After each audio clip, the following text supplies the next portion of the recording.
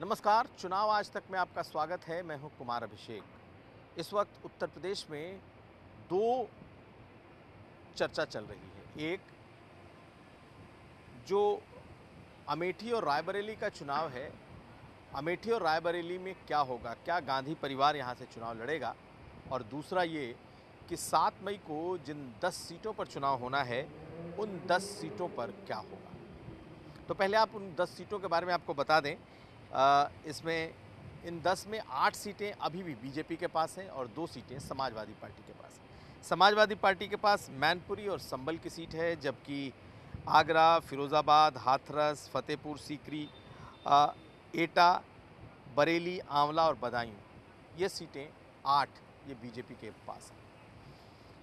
इस बार कई सीटों पर मुकाबला कड़ा है। पिछली बार फिरोज़ाबाद की सीट, जहाँ से राम गोपाल यादव के बेटे चुनाव लड़ रहे हैं, अक्षय यादव, वो सीट बीजेपी ने जीत ली थी, क्योंकि शिवपाल यादव तब बगावत करके खड़े हुए थे और बीजेपी को वो सीट मिली थी। इस बार वो सीट बीजेपी की मुश्किल में फंस गई है। इसके अलावा देखा जाए तो बदायूं की सीट, जहाँ से संघमित्रा मौर्य पिछली बार चुनाव लड़ी थी, बीजेपी ने उनका टिकट काटा और इस बार दुर्विजय सिंह शाक्य को बीजेपी ने टिकट दिया है।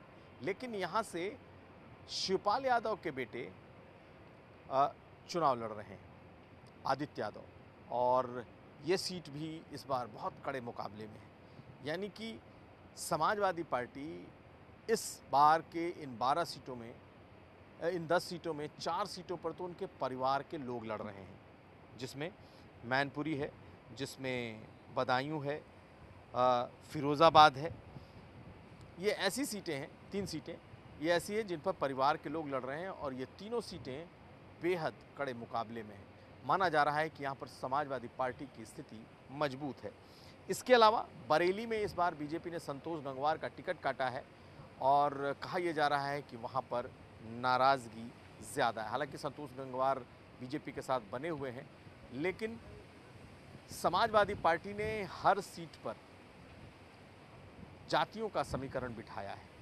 और ये इस बार बीजेपी को भारी पड़ रहा है, यानी कि कहीं भी वोटों का ध्रुवीकरण ना हो जाए, हिंदू मुसलमान ना हो जाए, इसकी पूरी तैयारी सपा ने कर रखी मुसलमान कैंडिडेट लगभग ना के बराबर हैं।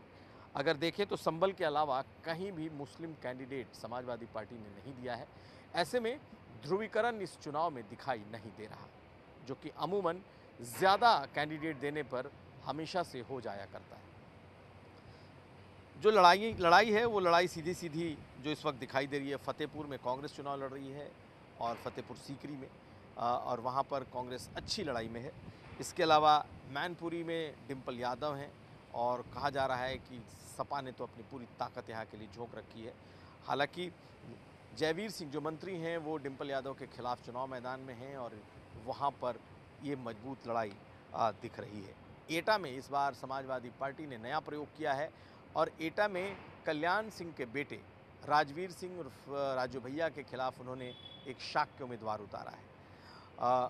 देवेश शाक्य। और कहा यह जा रहा है कि इस बार वहाँ पर कल्याण सिंह के बेटे को जो कि बीजेपी से उम्मीदवार हैं, उन्हें बहुत कड़ी टक्कर मिल रही है।